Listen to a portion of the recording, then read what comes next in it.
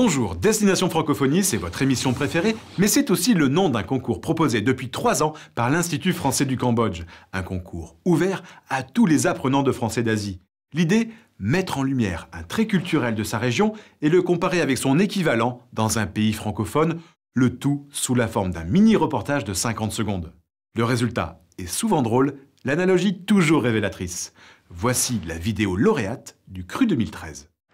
Bonjour à tous, je m'appelle Quinn et aujourd'hui je vais vous présenter un type de fleur très singulier au Vietnam, c'est la fleur de l'acquérier.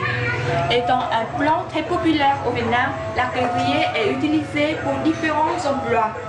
Sa fleur, adorée de la pureté de son parfum, est mise souvent sur l'autel pour exprimer le respect et la nostalgie des Vietnamiens envers les Bouddhas, les saints et les ancêtres. Si au Laos et au Cambodge, on préfère utiliser les fleurs de frangipanier pour faire cuite, au Vietnam, la fleur de l'acquérier n'est pas la seule fleur de cuite, mais certainement la plus appréciée. Les étudiants asiatiques sont très friands d'images et de nouveaux médias.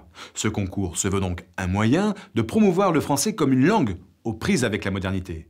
Il s'agit aussi de montrer qu'en Asie, parler français est un atout professionnel non négligeable aux côtés de l'anglais. C'est l'idée soutenue par les services culturels français qui mènent une politique de terrain très active. Et cela marche. Ces cinq dernières années au Cambodge, le nombre d'élèves qui apprennent le français a augmenté de 175%.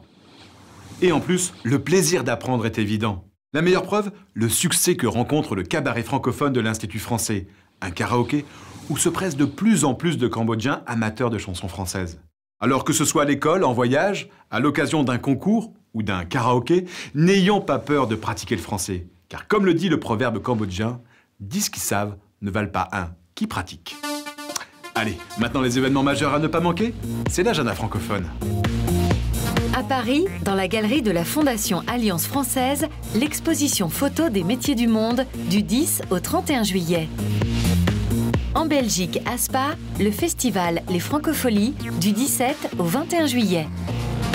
En France, à Nice, les 7e Jeux de la francophonie du 6 au 15 septembre.